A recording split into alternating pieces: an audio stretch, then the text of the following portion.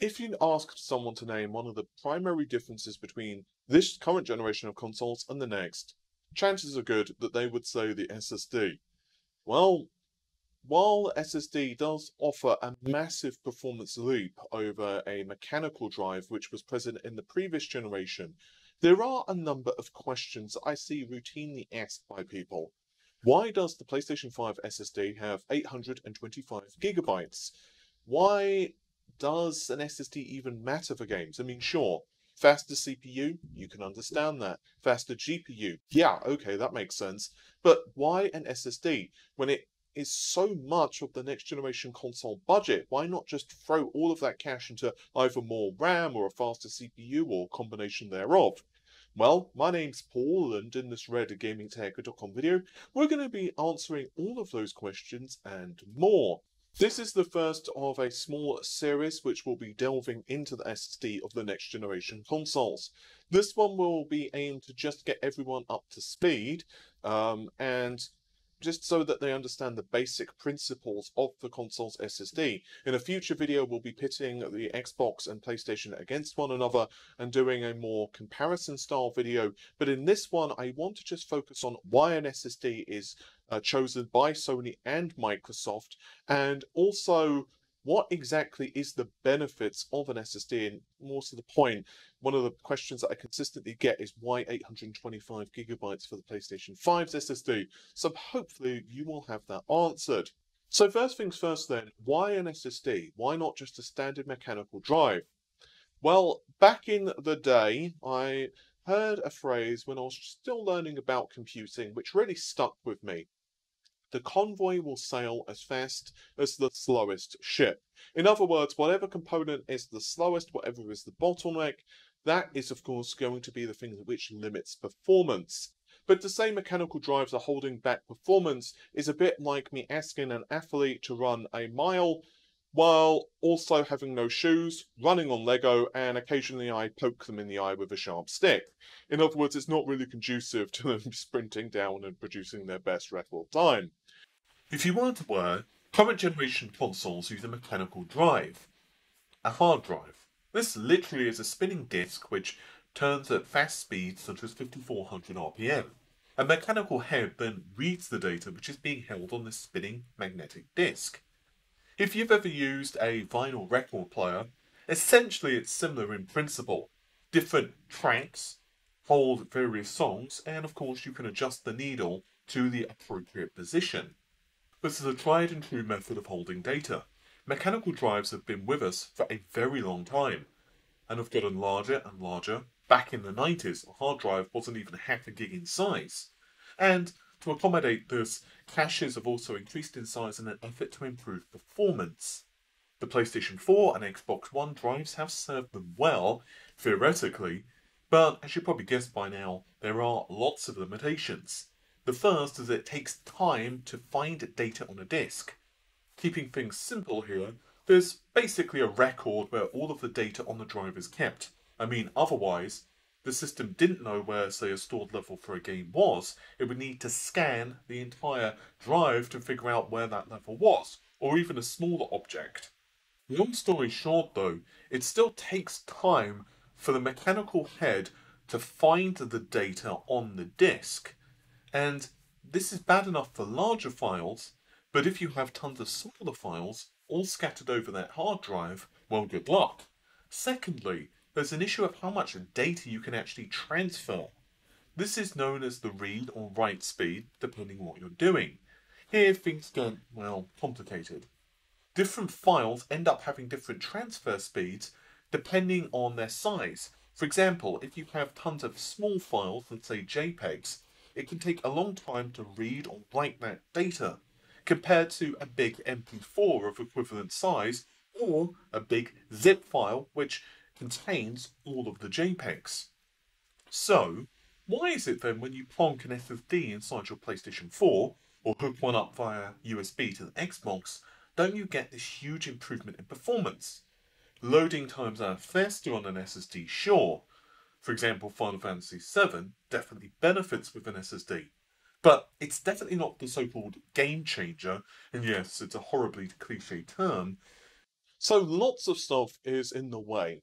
For one, games are simply not coded to take advantage of the SSD in current generations, i.e., you still have the sections where Lara Croft is trying to squeeze through a tight space, but, well, yes, occasionally that is for gameplay reasons, but also it helps mask loading, and we'll get more into how that works in just a moment. But furthermore, the CPUs in the current generation consoles are I'm just going to use a pleasant way of describing them weedy. And yes, that is me being generous to the Jaguar CPUs inside both the PlayStation 4 and the Xbox. They were the best solutions that AMD had at the time and were probably the best option for both Sony and Microsoft, especially as they wanted to go the x86 route. But the CPUs are designed to be low power and designed to not put out tons of heat and ultimately, uh, generally speaking, Jaguar is comprised of just four processor cores, but Microsoft and Sony doubled it eight for their respective systems. But even so, the CPUs do not offer a ton of performance. Compare, for example, how Jaguar processors of the PlayStation 4 Pro here compare against a Ryzen 7 3700X. You'll notice that even with SMT disabled and the same clock frequency, Ryzen stomps it. It's based on the Zen 2 architecture, which of course forms the basis of the next-gen consoles. I'd also like to thank our Patreons for contributing so that we could pick up the 3700X and we can do tests like this. But not only is the CPU kind of weedy, it also has to do so many more tasks. For one, it needs to deal with little things like, oh, I don't know, issuing commands to the GPU. But furthermore, it also has all of the audio overhead to deal with. And currently, because there are no exactly decompression blocks uh, on the current generation consoles, which do the same job as the PlayStation 5, for example, or the Xbox, all of the decompression is being handled by the CPU. And therefore, you're in kind of this rock and a hard place situation. The more you compress the data, the faster it can load in theory, but the more strain you're putting on the CPU. And given the CPU is doing so much other stuff, unless of course it's a loading screen, well, you can start to see how there's a rock and a hard place situation by games developers. The more they compress, the faster loading is, but they also have way less CPU performance to deal with stuff anyway, and they still, even if they used a large portion of the CPU um, for decompression, for example, from a loading screen, it's still not really fast enough and the mechanical drive is still not fast enough anyway. Okay, so what's different about the next generation consoles and why does the PlayStation 5 only have 825 gigabytes of space? Well, the PlayStation 5 uses a rather different design compared to what you would associate with the majority of customer-facing SSDs. There's a custom flash controller and also a 12-channel interface to the NAND flash memory, this, of course, makes up the SSD. Generally speaking, 4-channel SSDs are what you'd expect for a cheaper end drive in the spectrum. Although, you can certainly get ones with more channels, such as 8. Higher capacity drives can go even higher still. As you can see from this official Sony illustration, there's quite literally 12 blocks connecting the 12 channel interface. Each block representing 64 GIB, not GB, space. To be clear, the 64 GIB is multiplied by 12 because there are 12 of these blocks, and then this brings us up to the 768 GIB of space, or 825 gigabytes of real space, 825 GB. To be ultra, super, duper clear, this is raw space. Things such as the OS will of course be on the drive and will om nom nom the space, plus any other space which is reserved. I don't know the figures for sure, but if I had to guess, there's probably high 700 gigabytes which will be available for users. But don't worry, this is not doom and gloom, and we'll go into why in just a few minutes. Right, so those 12 channels run up to a custom flash controller, and it can handle 5.5 gigabytes per second of uncompressed data. More on this in just a moment. You'll notice there's also four PCIe 4 lanes which connect the controller up to the main APU. So in short, 12 NAND chips connect to a custom flash controller, which in turn is connected via four PCIe lanes to the main console SOC. This obviously feeds data to the system based on priority levels, requests. So the SSD here has six priority levels of data access, and this is a major tweak Sony have made to the PlayStation 5's SSD. So let's say data which is being processed right now is meh, I can wait on that for a second. Well, let's say instead the system has this request which needs to jump the queue. Well, PlayStation 5 can do this. It's a very lengthy topic, and I won't delve too much into it here, but this is one of the reasons the PlayStation 5 needs a much faster drive than the 5.5 gigabytes per second. So because they don't have this priority system, regular SSDs only have a two-level priority system, they need to make up for it by being faster to achieve this similar speed for the PS5. So then, back to the 5.5 gigabytes per second, that's uncompressed. If you're into development, there's a possibility you've heard of zlib, zlib, whatever you prefer, I prefer z, which is a compressed file format. According to Cerny though, while the PlayStation 5 can support this, Kraken is preferred because it offers about a 10% better compression ratio. In summary then, the 5.5 gigabytes per second is more like 8 or 9 gigabytes per second in reality. It can be faster, around 20, if the data that the PS5 is working on happens to be really good at compression. So why is all of this important? Why does the SSD mean that we won't necessarily see massively ballooning size of games? Well, for one reason, it means that data doesn't need to be repeated multiple times on the disk. We all know those games where you see the same enemy at different levels, the standard grunt or soldier, or say you're in a city level and you see a red fire hydrant. But then you go to a different part of the city, you still see the red fire hydrant, and so on and so on. In a traditional mechanical drive, they will need to repeat that fire hydrant multiple times throughout the disk. Wherever a level loads or a section of a level loads which has that fire hydrant, there's a good chance that they will include it into the level data. And this is because it needs to reduce load times. But with an SSD, this is not needed it would only need to keep one copy of it, theoretically. Further to this, the PS5 compresses data really well. And because it has the custom decompressor, which puts out around 9 Zen 2 cores worth of performance, that is, if the Zen 2 cores are clocked at the same PS5's 3.5 gigabytes, this means that more data can be compressed than the PlayStation 4. But getting back to what I was saying, the PS5 offloads the decompression of data like the Xbox can too on specific custom hardware. This means that not only do you need less of the data because you don't need a million fire hydrants, but you can also compress the data way more. So yes, there'll be more 4K textures, but I suspect games won't grow hugely in size. Indeed, they may even shrink.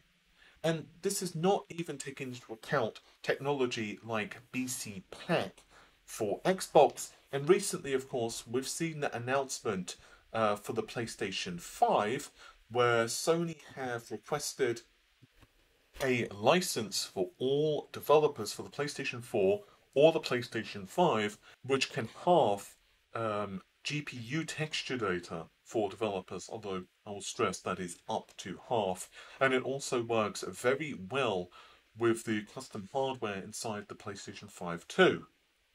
So anyway, further evidence of this can even be found in Unreal Engine 5 and Nanite, where developers only need to offer the highest quality model rather than tons of different LODs for the same model. The system can on the fly adjust the model quality and therefore you don't need to store all of those lower quality assets with varying levels of geometry. I've done a deeper breakdown of this for UE5 if you want to check it out. I'll link it in the video description. Microsoft's data transfer speeds are slower than Sony's system. Compressed data rates are stated to be about 4.8 gigabytes per second on average. Definitely not exactly sluggish. Though, if you've been a subscriber for a few weeks, you'll probably have seen my story where one of the engineers working on the Xbox Series X has said that the public figures of 4.8 gigabytes per second for the Xbox's SSD are conservative. Quite frequently, at least according to this engineer, the Series X can hit figures of about 6 gigabytes per second with compressed data, but of course, they want to be more conservative and they don't believe it's going to be consistently hitting those speeds. And I respect them for being honest. The Xbox, though, does use the Velocity architecture, which of course does have custom decompression blocks. Apparently there's 5 Zen 2 cores worth of equivalent performance, though Microsoft's CPU does run a bit faster than PlayStation's to be fair. There's also a direct storage API, and it's kind of an extension direct DirectX 12 too, and naturally will be part of PC development in the future. I don't really want to turn this into a lengthy comparison between the two systems, because this video is already getting kind of lengthy. But I will go into this further in a future video to compare the two. But one thing I do want to touch on is Microsoft's solution uses cartridge-like enclosures for its SSD. And their solution is probably easier for customers because they seem to be planning to sell these like any peripheral, like a controller or say a headset. Sony meanwhile aren't so clear yet in their plans. They will have drives which work with the PlayStation 5 apparently, but those drives need to meet several criteria. The first is speed, but they also need the appropriate form factor, i.e., you can't have huge heat sinks attached. Sony apparently will be validating these drives, and we've already seen that um, the Samsung 980 EVO is going to launch in just a few months' time, and it may be a good candidate. Microsoft's approach is more conservative, but it's also easier for the user, especially if someone opts to have a massive back catalogue of games and they don't want to keep deleting them, particularly for folks who do have slower internet. For example, you could have two or three SSDs and you could just flick between them as you wanted. Faster access to data is what's been achieved. It really and truly is only a byproduct of what the team's goals were. That is to allow developers to have access to massive quantities of data and craft worlds which are more open and narratively rich, reducing the limitations which we see in the current generation. Naturally, the faster access of the SSD does leave constraints still. Ultimately, factors such as raw CPU performance, for example, come into play when running a game's logic. Picking on the console's RAM for a moment, Microsoft and Sony have both opted to use 16 gigabytes of GDDR6 for their respective systems. Ignoring bandwidth and just focusing on quantity, well, 16 gigabytes isn't that much of an upgrade compared to the previous generation. Take the Xbox One X, for example. It had 12 gigabytes of memory. So, on the surface, one could say the Microsoft Surface, if you will, no, you won't? Okay, well, I found it funny. That's only a small upgrade in memory. The difference is, though, that the RAM is being used in a very different way, and developers won't need to worry about cramming large portions of the level into 16 gigabytes, and can instead focus on streaming data in as it's needed. Technologies such as Microsoft's sampler feedback, for example, can give the GPU the ability to know what's happening with a texture in the game.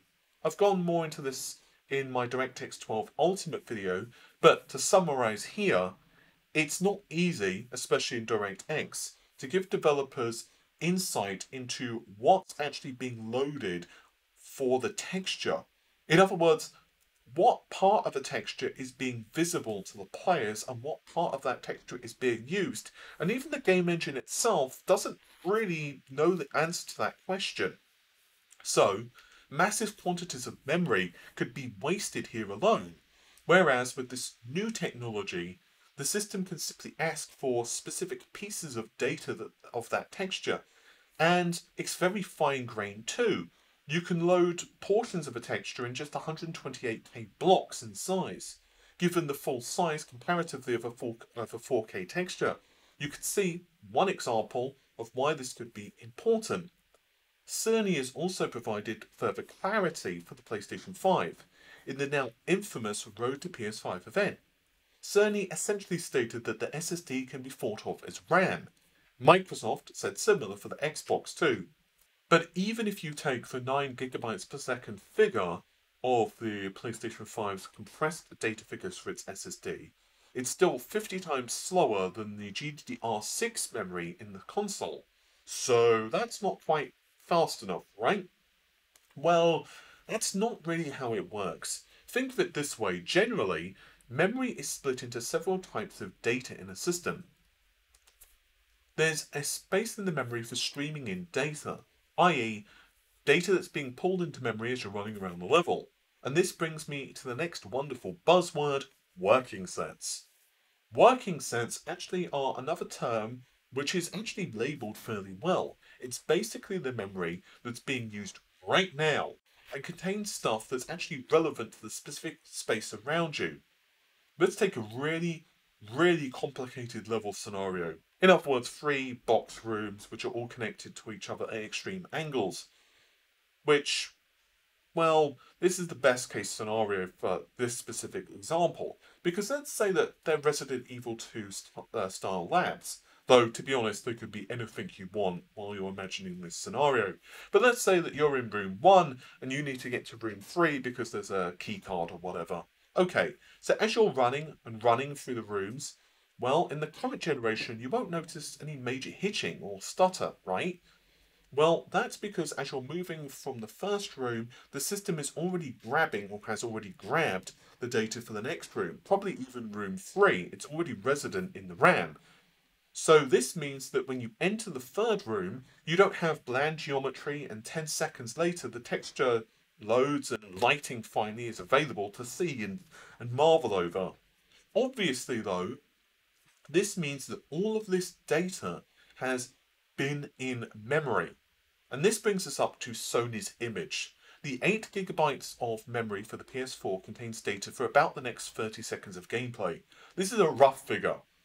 Possibly for, say, a game like Resident Evil 2. Yes, possibly I want to play Resident Evil 2 again if you couldn't tell. A fighting game would handle things differently because, well, it would just load things which are relevant for that specific fight.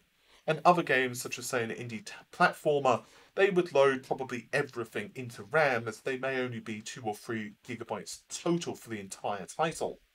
The next generation, though, won't need to do this, again, depending on the title, but can instead hold data for the next second or two of gameplay in its working set. Indeed, play a game and see how long it takes your character to do a 180 in an FPS game. Even though it's a short period of time, less than a second, it still could mean that potentially a couple of gigabytes of data could be thrown into the console's RAM. And if we look at, say, Ratchet and Clank 2, this is a really nice example, which was, of course, shown on PlayStation PlayStation's then. Now, if you run frame rate tests or just go through the gameplay frame by frame, you can see that there are frame drops. I will just put an asterisk here and say that this is early software, so this may be fixed by the time the game comes out.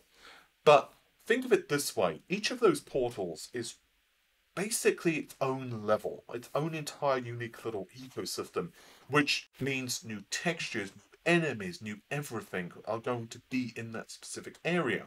So basically, the amount of data which is being pulled in in just a few, maybe even less than a second, I was about to say a few seconds, but it's probably even less than that, is quite startling. Because it's not like the system can even cache a lot of that data because if you have, say, a couple of different portals, well, you could go through portal A, you could go through portal B, but you could also just choose to go through none of those portals and you could just continue to proceed through the level. So this is an example of how streaming data is going to be so important. Furthermore, going back to the Spider-Man demo for the PS4, there was a limit on how fast Spider-Man could traverse around the world. This was not a limitation because they didn't think that players could deal with the game running faster. Indeed, it's just a limitation that the that the actual uh, drive itself could not provide enough data to the system. I think that's a pretty good place to call the technical side of the video, although there is just a couple of other things I would like to discuss before we wrap up. One is PC gaming. And I believe that there's a few things which are going to happen on the PC platform. I've gone into this more extensively in another video, so I'll link it, of course, in the description of this one. Long story short, I think one of the most likely scenarios is that PCs will quickly adopt uh, NVMe SSDs, not SATA SSDs. SATA just does not offer the performance uh, which is going to be needed because SATA tops out a SATA 3 connection around 500-ish megabytes per second, which is, well, not ideal. Oh, and there is one other last important point. You can use the SSD in the console for backwards compatible games. For example, you could install FF7 on the PS5 or Gears on the Xbox, no problem.